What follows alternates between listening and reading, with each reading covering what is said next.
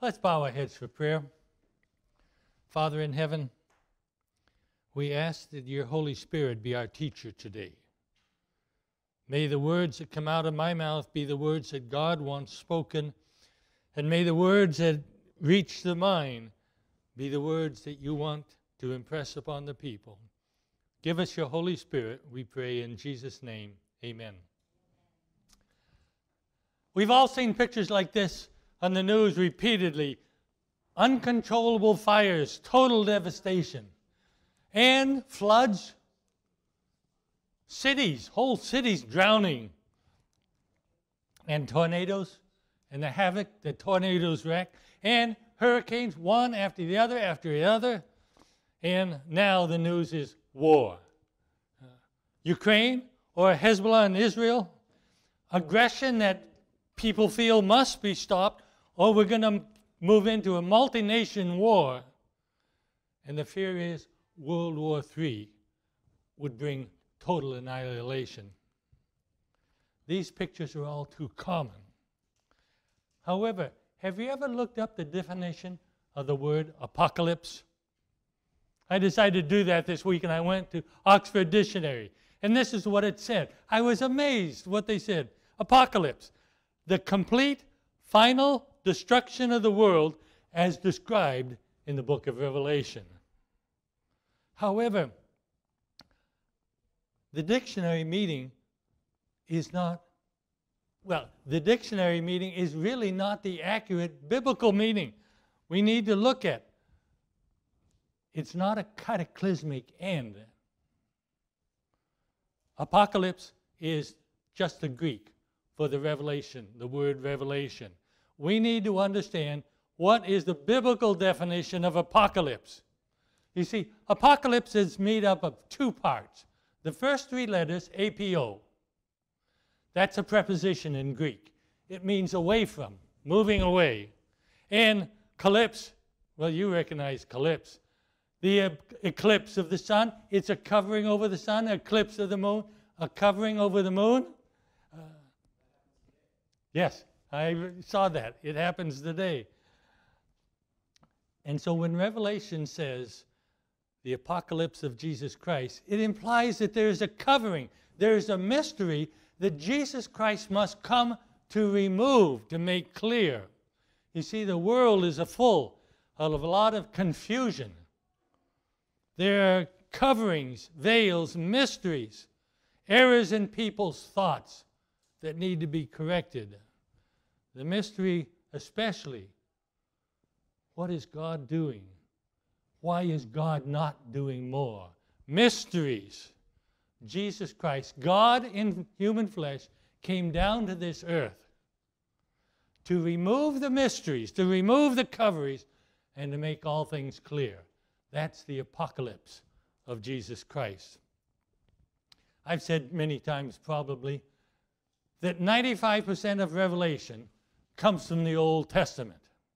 And if we understand, want to understand Revelation, we need to understand the Old Testament and the New Testament. A lot of Revelation comes out of the New Testament.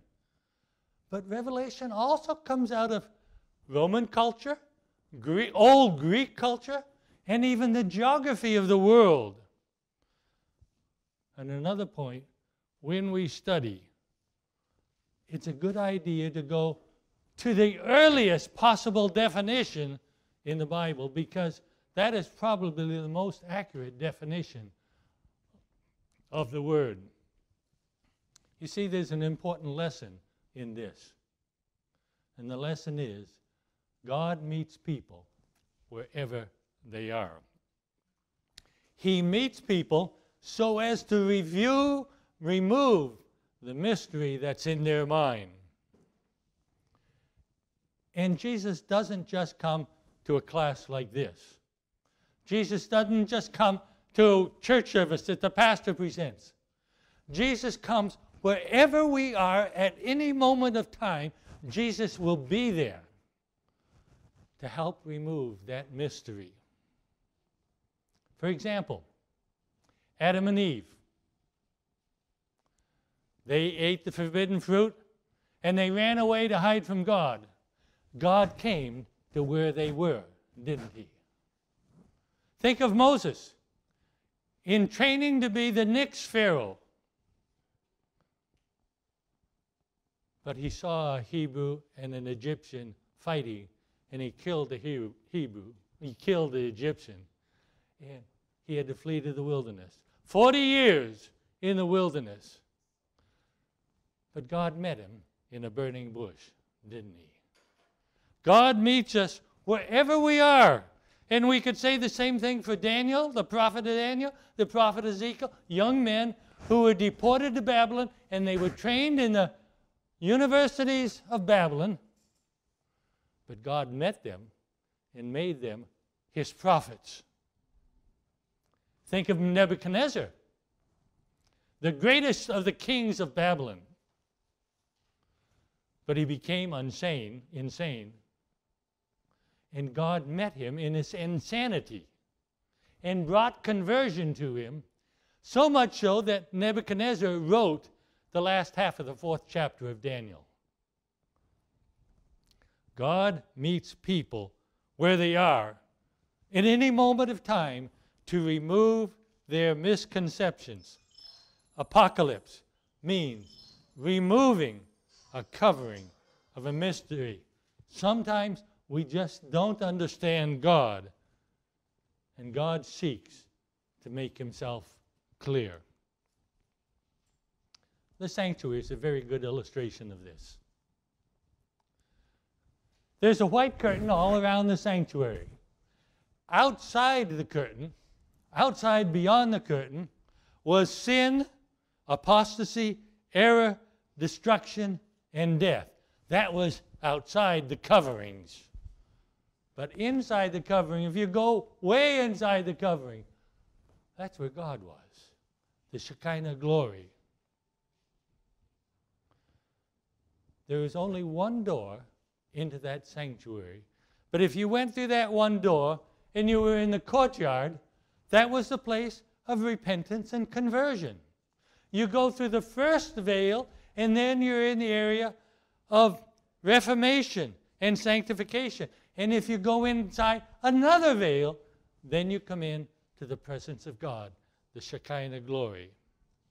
All of this was seeking to show that even though there is mystery surrounding God, we can go through that mystery and God will reveal himself. Now, we were talking about the curtain around, but there's also coverings vertically.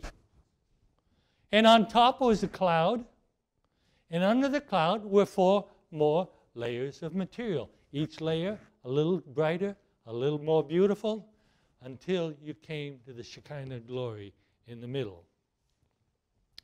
All of this sanctuary was to show that the curtains, the veils, the coverings above and around God reveal sometimes misunderstood character of God, sometimes mysterious activities of God. The sanctuary reveals God in a way that people can see. That's the theory. Let's go to the Bible and see what the Bible says. And the Lord went before them by day in the pillar of cloud. That's the word we want to talk about. The cloud that is above, the curtains that are around. We're talking about that for a good share of our time this morning. And the Lord went before them by day in a pillar of cloud, leading the way. The cloud reveals, in a way that Israel could see, that God was there leading them on their journey through life. They came to the Red Sea. At the Red Sea, beyond the Red Sea was the promised land, wasn't it? But the Red Sea was an impossible place to them. And behind them was a murderous army of Egypt. So the cloud, that's what we're studying, the cloud came between the camp of the Egyptians and the camp of Israel. Thus it was a cloud and darkness to the one, but it gave light by night to the other, so that one could not come near the other all that night. You see, the cloud was two things. it was darkness and doom for the Egyptians. But it was the presence of God to Israel and the deliverance that was to come and the knowledge of God that they were to receive. In Revelation, in Revelation, we will see a cloud, a symbol repeatedly, a symbol of God guiding and giving knowledge. Also, a symbol of Satan and the errors and deceptions that he brings. But the cloud is always God leading his people. While it was a protection to the people, notice this. Now it came to pass in the morning watch that the Lord looked down upon the armies of the Egyptians through the pillar of fire and what? The cloud. And he troubled the armies of the Egyptians. While the cloud was protection for God's people, it was disaster and doom for the enemies of God. So let's come on in, sit down. Let's go on to Mount Sinai and the giving of the Ten Commandments. And the Lord said to Moses, Behold, I come to you in a thick cloud, that the people may hear when I speak to who? To you. And will believe who? You see, God came down on Mount Sinai in the cloud so that he could speak to all Israel. But he also wanted Israel to realize that Moses was a spokesperson from God, so that the people would come to believe Moses, the prophet of God. You see, God uses prophets to lead his people. God doesn't often speak audibly to people, but he does speak to his prophets in a way that they know, and we can study the prophets in the Word of God. God was with Abraham. When he told him to offer his son, he was with John the Revelator when he wrote the Revelation. And he was with who? God's prophets or God's pastors, God's teachers, God's leaders. And God uses prophets to remove evil and to present truth that needed at that moment of time. Surely the Lord God does nothing unless he reveals his secrets to who? His prophets. God shows the past and how we got to where we are. God shows the present and the things that we need to do now. And He also shows the future, what is ahead of us and the potential. Present truth He presents, but He also presents errors to correct them, to remove them. God meets people where they are. Then it came to pass on the third day in the morning that there was thunderings, lightnings, a thick cloud, and the sound of the trumpet was very loud. So all the people who were in the camp trembled. Now I understand the lightning, I understand the trumpet, I understand the thunder. God is getting the attention. He uses things to get the attention of people. But what's the cloud have to do with that? There's a, there's a what? It's protected them, but also, and I repeat this over and over again, throughout the Bible, God is enveloped in a cloud because much of God's activities are a mystery. When He comes, He uses things like trumpet to get our attention, but then God in His cloud will reveal the mysteries and lead his people.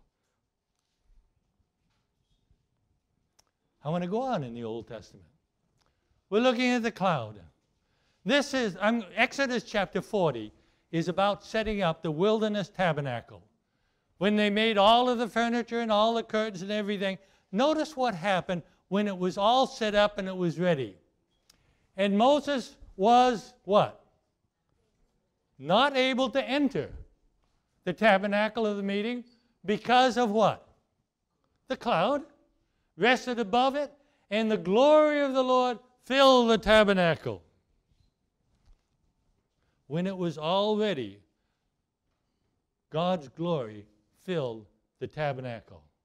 That's important because it says God is teaching about himself in the tabernacle. But when that happened, not even Moses, the prophet of God, could enter. Not even Moses could behold God. Not even Moses could understand God. If he didn't understand, how much would we understand? But let's go on to Solomon's temple. And almost the exact same thing is said about Solomon's temple. And it came to pass when the priests came out of the holy place that the cloud filled the house of the Lord, so that the priests could not continue ministering because of the cloud, for the glory of the Lord filled the house of the Lord. You see, the temple, the tabernacle, the temple, all were teaching about the character of God, about the activities of God. But nobody could go right into the presence of God to understand. It was too much. They couldn't comprehend. Now, we saw almost identical pictures in the tabernacle in the wilderness, Solomon's temple here, but there's also a temple in heaven. And notice what it says in heaven. And the temple was what? Filled with smoke from the glory of the Lord and from his power. And what? No one could enter. Does this sound like the previous two verses?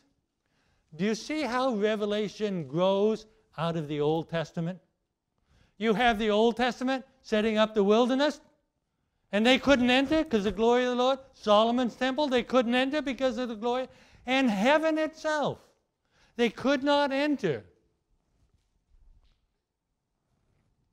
But now, Revelation does one more thing that the Old Testament does, does not do. Revelation adds information to the Old Testament. And I want you to notice what Revelation adds to the previous two experiences. Notice. No one was able to enter until, till when? Seven plagues of the seven angels are completed. Revelation has the seven churches. And you got to go past the seven churches. It has the seven seal. You have to go past the seven seal. It has the seven trumpets. You have to go past the seven trumpets. You have to go to the close of probation. And after the close of probation, the seven last plagues. Not until you get to after the seven last plagues what happens after the seven last plagues? We go to heaven. And can we enter heaven? We cannot enter until when? Until the seven last plagues are over. We will not comprehend God fully until we get to heaven. But the promise is when we get there, there'll no more be no more clouds in heaven. We will be with God and He will explain everything fully to us. I want us to notice the words of Jesus to His disciples. I still have many things to say to you, but you cannot what? You can't bear them. Why couldn't the disciples bear them? They had wrong concepts of Jesus, didn't they? Jesus meets us where we are, and he seeks to help us understand God. Now, there are two mysteries in the Bible. Two totally different mysteries, and I want to see both of them. This one. And he said to them, To you it has been given to know the mystery of what? Mystery of the kingdom of God. That's one mystery. Paul also talks about this mystery. And without controversy, Great is the mystery of what? Godliness. We just don't understand God manifested in the flesh. We don't understand God justified in the spirit, seen by the angels, preached among the Gentiles, believed on in the world, received up. We don't comprehend all of this. Great is the mystery of godliness. But there is a second mystery, and it is the mystery of lawlessness, the mystery of sin. Revelation also talks about this mystery. And on her forehead was written, Mystery, Babylon the Great. The angel said to me, Why do you marvel? I will tell you the mystery of the woman. We have a hard time comprehending God because He is so great. But Satan makes it worse, doesn't he? And he brings in so many lies, so much confusion. He is there to cause us not to comprehend God. That's the mystery of Babylon. That's the mystery of sin. That's the mystery of iniquity. You see, the apocalypse tells us the truth about God and helps us to understand the mystery of his action. But the Bible, Revelation, also talks about the deception of Satan and the mysteries of iniquity. God meets people where they are and tries to help them to understand. But let's go back to Revelation chapter 1. We've been out of Revelation a long time. Revelation chapter 1. The revelation of Jesus Christ. I want to ask you two questions. One question, and a little bit later, the second question. Is this revelation of Jesus Christ? Is it a spotlight showing down on Bethlehem so we see God come down to human flesh? Is it a spotlight at the Jordan River when Jesus is baptized and the Father says, This is my beloved Son, hear ye him? Is it a spotlight that comes to the trial of Jesus before Caiaphas when Jesus says, You'll see me coming in the clouds of heaven? Is it a spotlight on the cross where we see Jesus dying in our place so we don't have to? Is it a spotlight on the, on the empty tomb after Jesus come out? Is it a spotlight on all of the activities of Jesus? Or the revelation of Jesus Christ. It is, a is it a microphone in his hand when he preaches the Sermon on the Mount?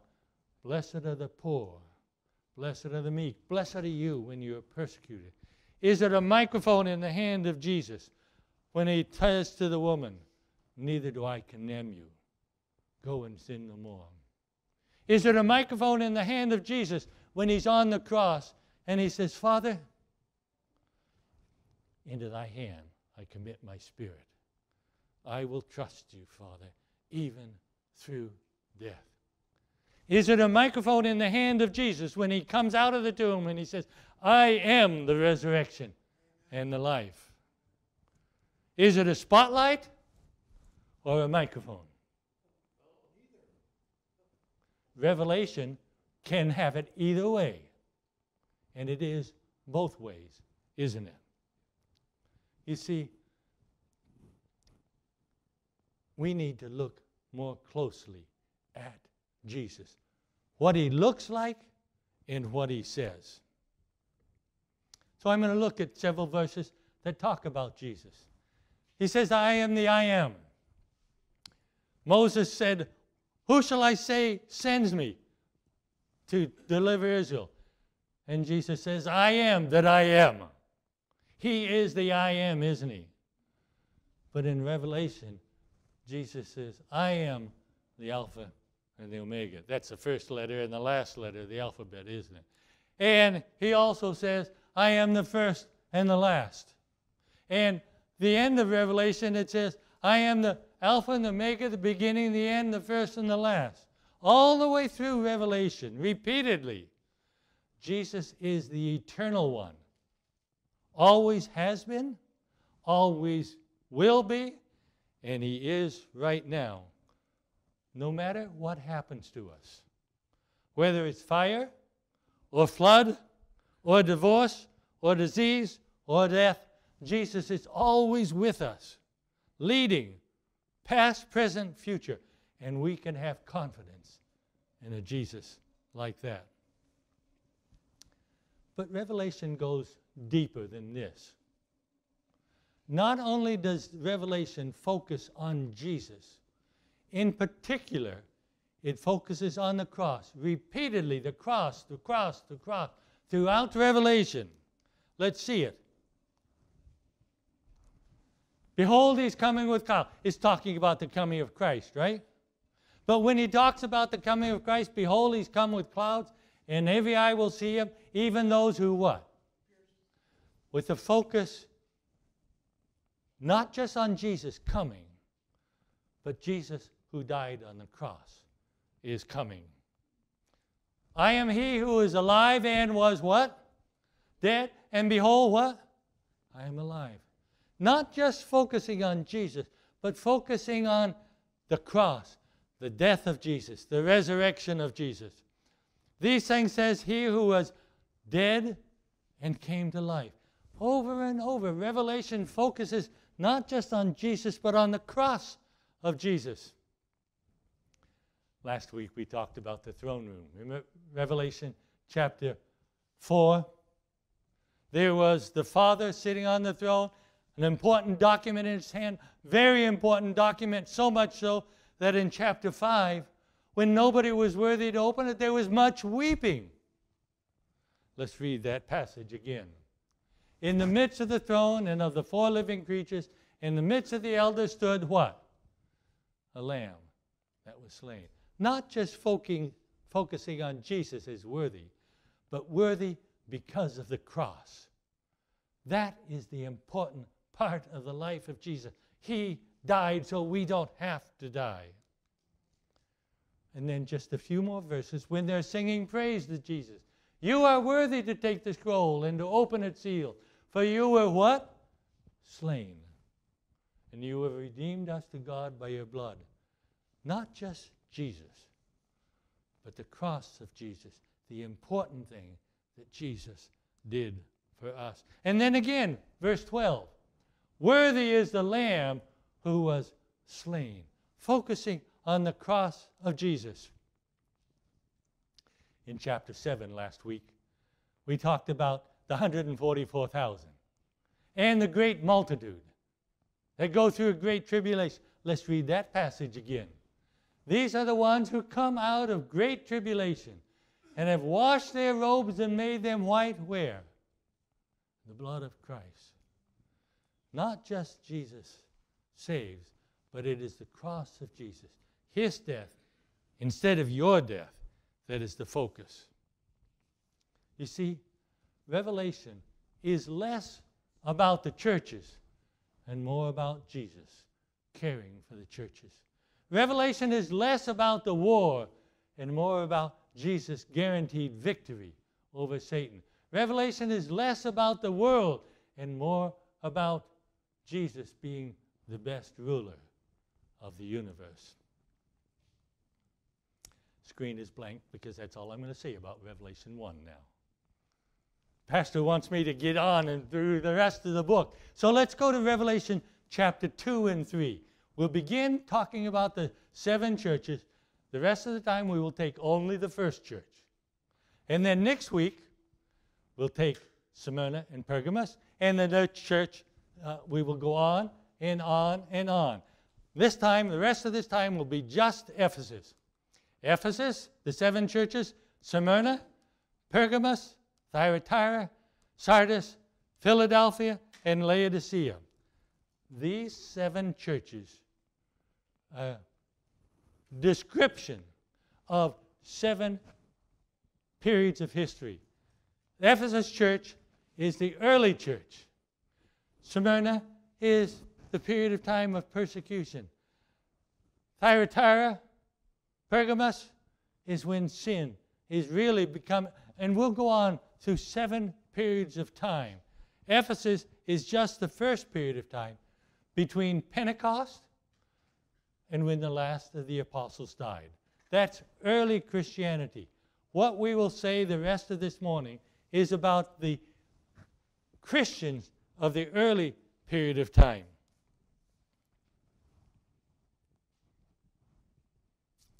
That is the library of Ephesus as it stands today. It's been reconstructed and rebuilt. That library was one of the biggest libraries of the world at that time. Ephesus was not a little city, Ephesus was a big city. Ephesus was the fourth largest city of the world. Ephesus is certainly a good place to write the first letter to the church. Ephesus, the Ephesians church. This is the temple of Diana. It's in Ephesus. Oh, this is just an artist rendition of it, but that's what they see it was. There were 127 columns in and around and throughout that temple. Each column was 197 feet tall. Now, I want you to get the realization of what 197 feet is. Uh, our sanctuary is about 30 feet. So we would have to take metro on top of metro, on top of metro, on top, on top, on top, six times taller than metro. That was this temple. History says the city of Ephesus was the most superstitious city of the world. Now, most of us know or have the book Acts of the Apostles. Chapter 27 of the Acts of the Apostles is all about Ephesus. I encourage you to go read it. A good chapter. This is just one quotation out of that chapter. Ephesus was not only the most magnificent, but the most corrupt of the cities of Asia. Superstition and sensual pleasure held sway over her teeming population. Under the shadow of her temples, criminals of every grade found shelter, and the most degrading vices flourished.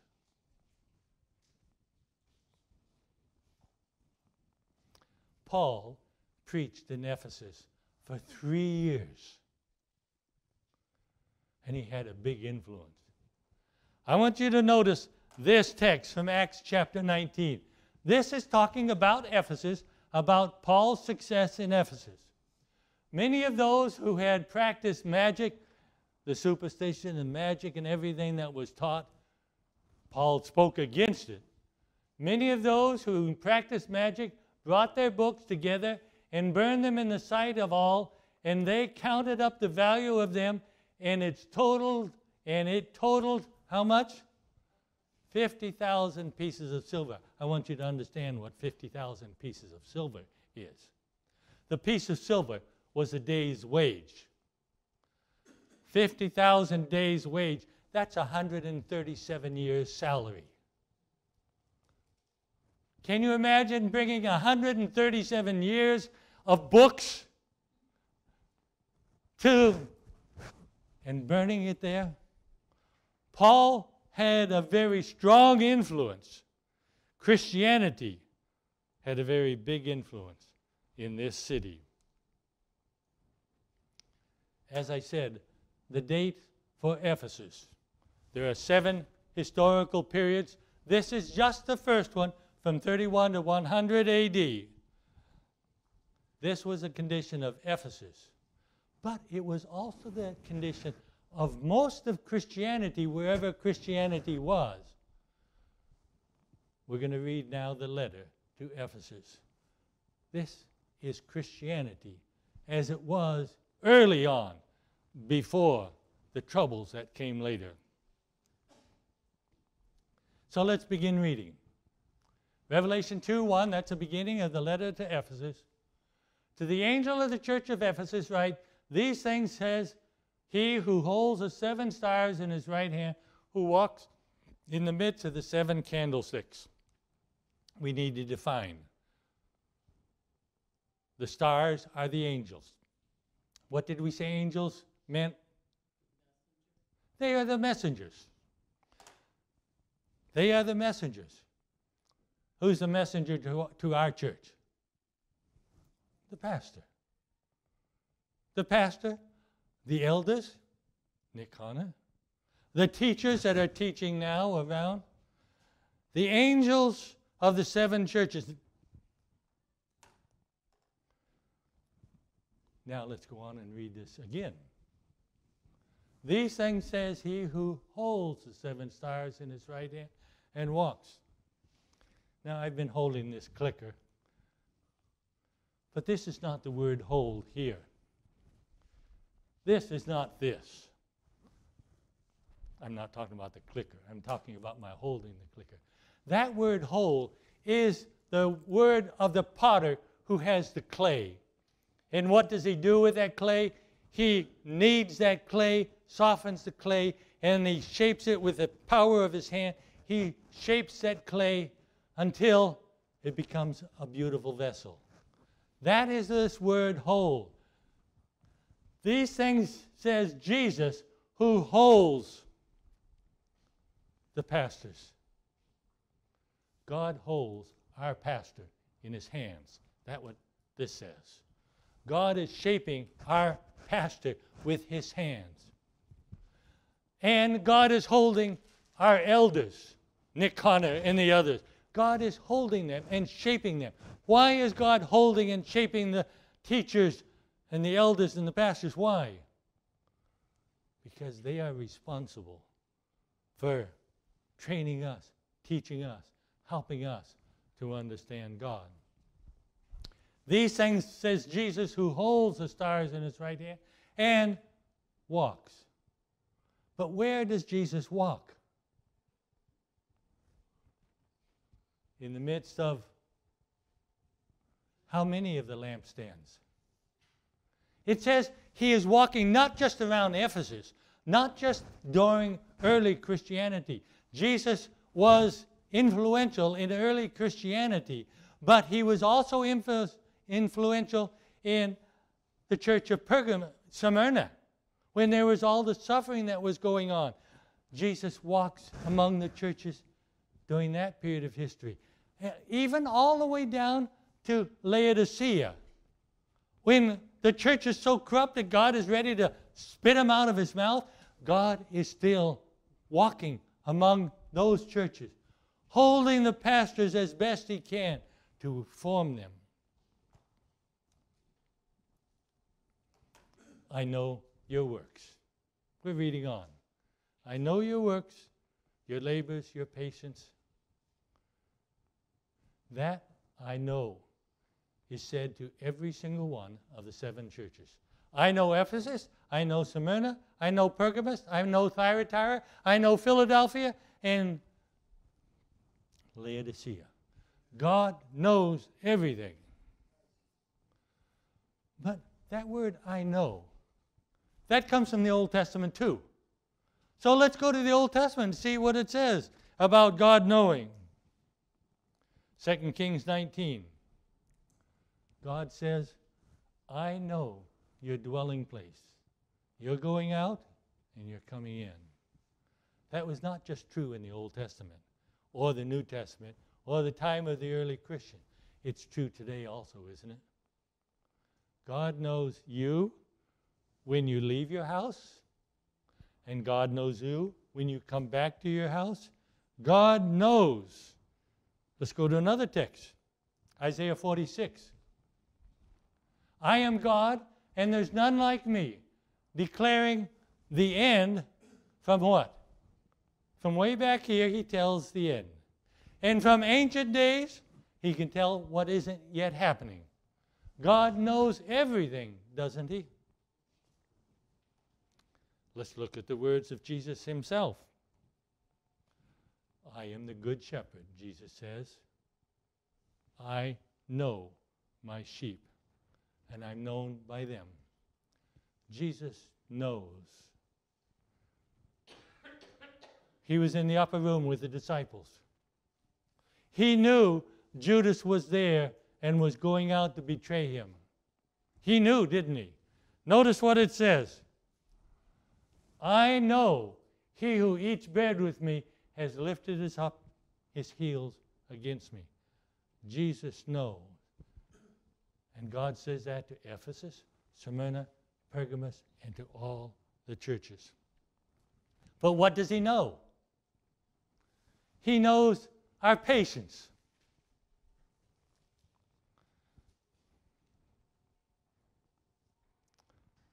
Paul talks about this.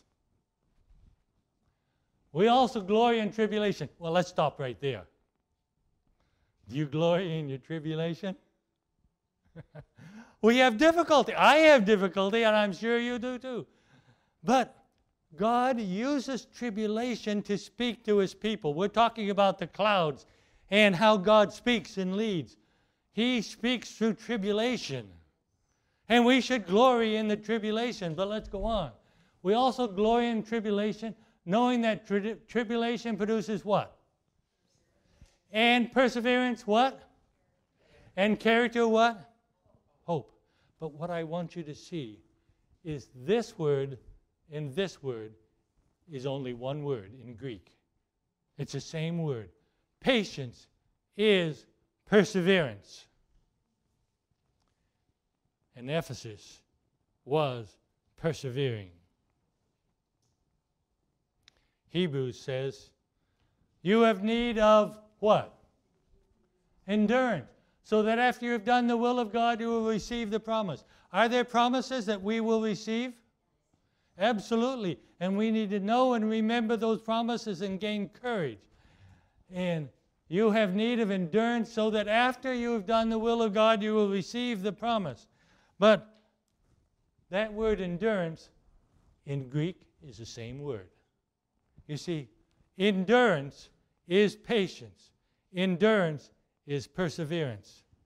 And the early Christians, from the time of Pentecost to when John died, that period of time, they were patient, they were persevering, they were enduring.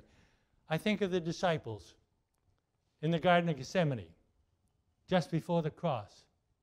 Jesus said to the disciples, Watch and pray that you enter not into temptation. The flesh, the spirit is willing, but what? Flesh is weak. And what did the disciples do? They slept. Not after not after the cross and the resurrection, not after Pentecost. They, the early Christians, they had learned about God and God, what He had done for them in the cross. And they were patient, they were persevering, they were enduring. Let's go on. I know your works, your labors. You have labored for my name's sake and have not grown weary.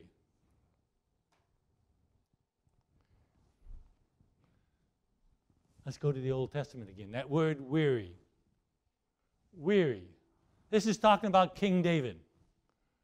He arose and attacked the Philistines until his hand was weary. That word weary is not just, well, are you weary at the end of the day? Yes, we're weary at the end. But that's not the weary of the Greek. It's weary to the point of exhaustion. And David worked to the point of exhaustion, and his hand stuck to the sword. But the Lord brought forth a great victory that day.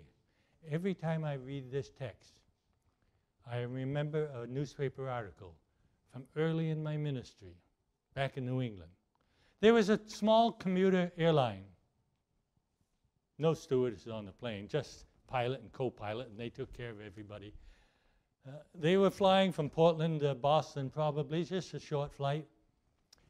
But a notice came on, a light came on in the dashboard, that the door in the back was loose.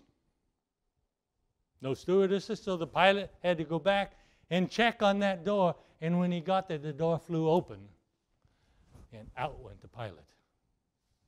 The co pilot immediately radioed the tower and said, Notice my position right now. The pilot has just fallen out of the plane. And look for him here.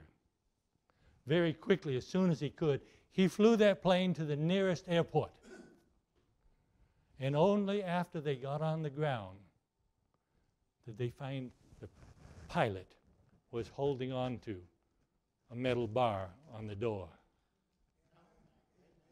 Holding on with all that he had. And you know what the article said? It took them 30 minutes to release his hands. 30 minutes to get him to release his hand. You see what this said? His hand stuck to the sword. And when that happened, what did God do? And the Lord brought about a great victory that day. When we labor so hard, there will be great victories. When we as church members labor that hard, there will be great victories. Going on. I know that you cannot bear with those who are evil, and you have tested those, say, uh, apostles, and have found them liars.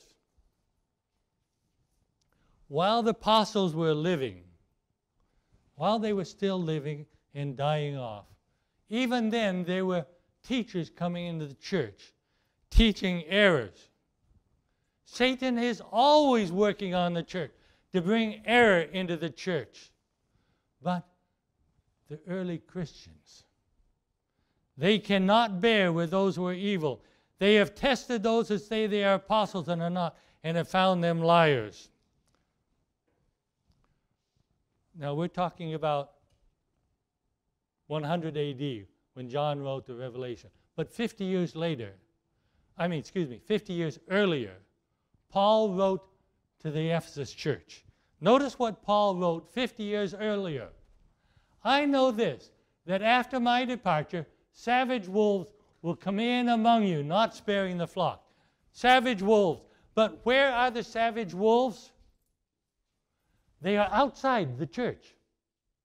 The world, the evil influences of the world coming into the church.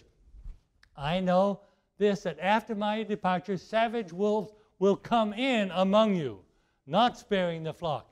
Also, from among yourselves, within the church, also from among yourselves, men will rise up speaking perverse things to draw the disciples way after them.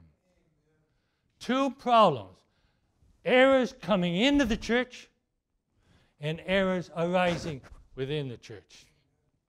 But in Ephesus, you cannot bear with evil. You have tested those who say they are apostles and are not, and found them lying. Do you test me? Do you test our pastor? Do you test our teachers that teach all around? They tested to make sure there was not error coming into the church. I want to give you just one error. There are many. I'll just take one. You know that during this time, emperor worship was demanded, not just re- recommended, it was demanded. You had to take incense and say, Caesar is Lord. Now, if you say Caesar is Lord, what does that mean? Jesus. Christians couldn't do that.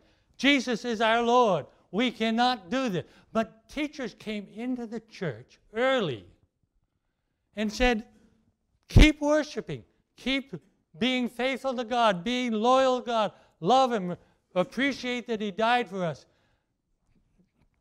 Don't worry about this. That's just taking a little incense and sprinkling. That's nothing. Forget about it.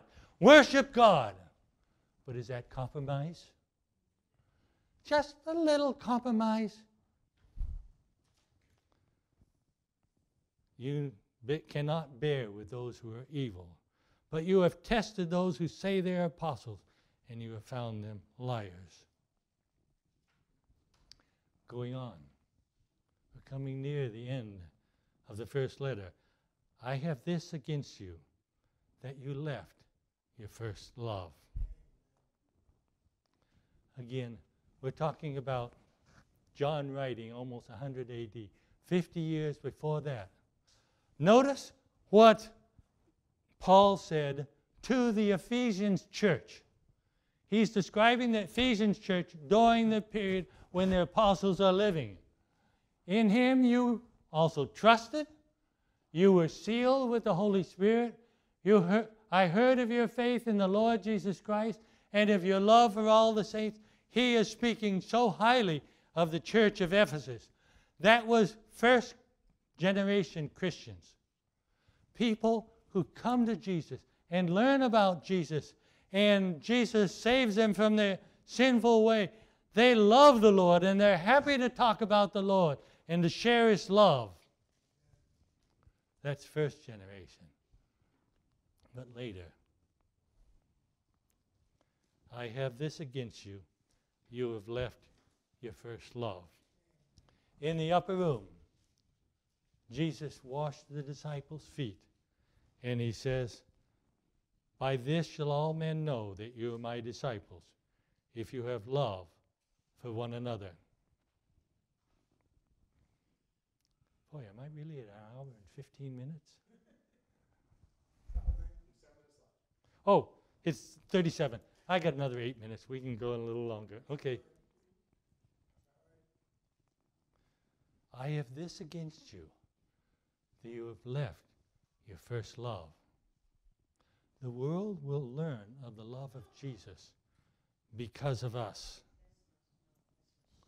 Now, I read to you a paragraph out of Acts of the Apostles. I want to read more out of that same chapter in Acts of the Apostles.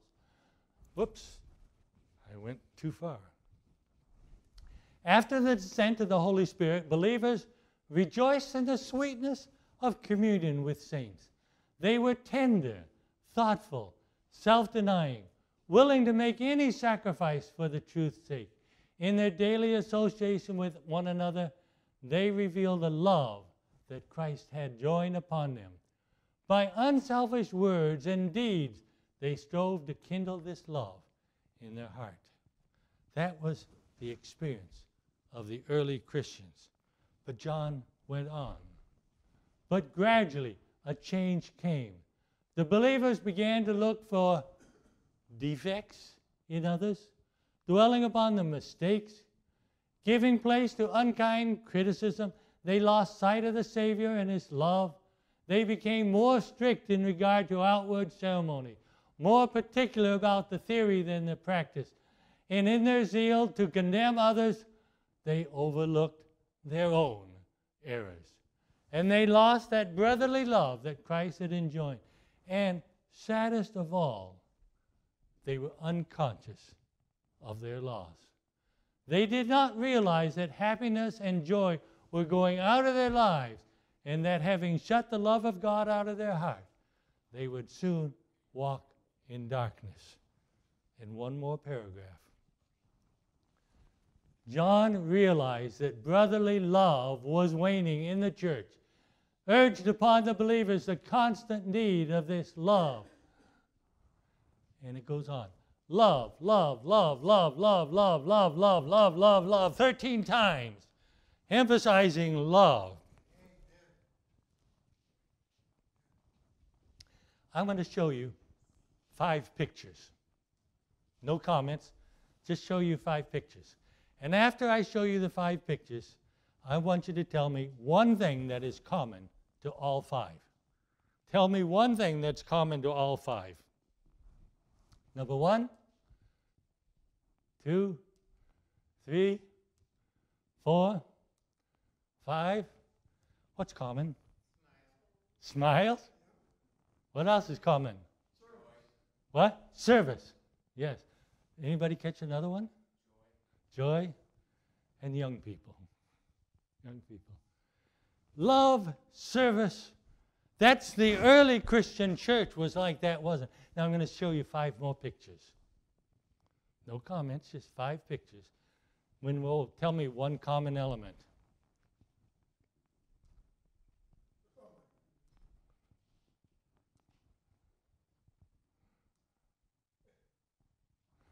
What's common? Anger. Judgmental. Critical. That's exactly right. I have this against you. You have left your first love. Which of those five are you? I mean, which of those ten are you? Which of those two groups of five is our church? Because of their criticism, Jesus says, Remember therefore from where you have fallen. They have fallen from love, haven't they? And Jesus says, Remember. Christians at the beginning, in love with Jesus, they tell everybody. Jesus says, Remember that first love. Remember it.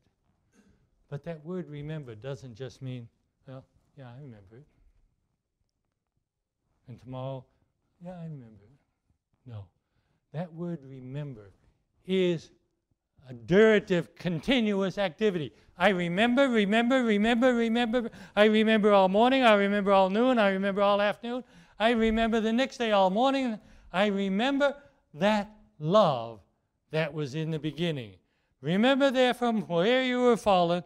And then Jesus says, repent. Remember and repent. And the repent brings to my mind the prodigal son. He had everything at home, but he left it all behind and went out and spent all his money, and then nobody gave him anything. And he just fed the pigs. And from there, he remembered home and he repented and he went back.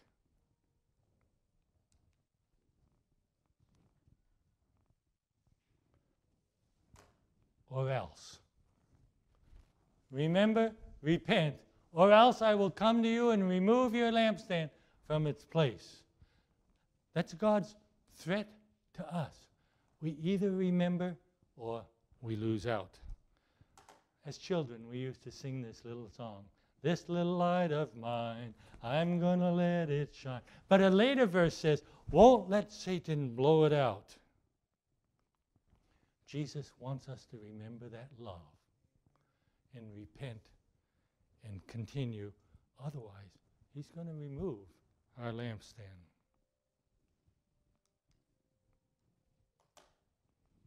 And I'm ending, ending with this verse. It's the last verse of the chapter of the verse of the letter. He who has an ear, let him hear. Listen. Listen to what the what the Spirit says to what? Plural.